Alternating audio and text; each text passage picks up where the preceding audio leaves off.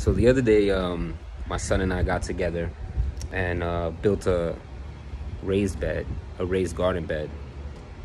And um, this was a huge deal for me because I've been wanting to garden for a long time. And, you know, I've been pro procrastinating uh, because I've been waiting for the perfect scenario, the perfect situation. Um, and I finally decided, you know what? I got to do it. I just got to act. I just got to put myself into motion and it was it was a big deal you know because like i said i've been procrastinating waiting for the perfect teacher the perfect situation um, you know the perfect environment to do it. And i was like you know what? Now is the time. Now is the right time. I just got to get it done. And um, we got it done. So this video that i put together isn't an instructional video. It's more of a it's more of a video of just you know showing um, the process or just showing me getting it done. Um, so I wanted to share that with you guys. And this is how the end result looks like. You know, it's very simple to do. Um, and we got it done, man. I, I encourage, I mean, the, the point of this whole video is just to get out there and do what you got to do. You know what I mean? Do what you, do what you need to do. All the answers, all the things are within you. Um, just get it done.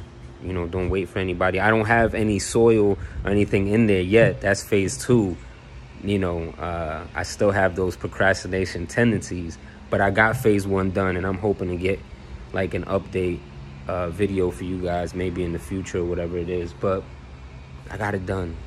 You know, stop waiting. Stop waiting for the perfect situation. The perfect scenario is now the perfect scenario is just acting. And this is a super easy thing to do. Um, so it was a no-brainer for me to get it done. I got two out of one barrel. Out of one 55 gallon drum, I got two raised beds out of it. I'm gonna have all the descriptions and the details and whatnot in the descriptions. Um, so I hope you guys enjoy the video and I hope this motivates anyone to get it done. If I could do it, you know, if I could get to at least this phase, so can you. Um, and that, that's my whole intention with this video, man. Get out there and get it done. Right. So here we got this guy. And let's just look at all the tools we got. Right. And this as well get another angle like that. That's the little, that's my helper right there. Hello. Say what's up.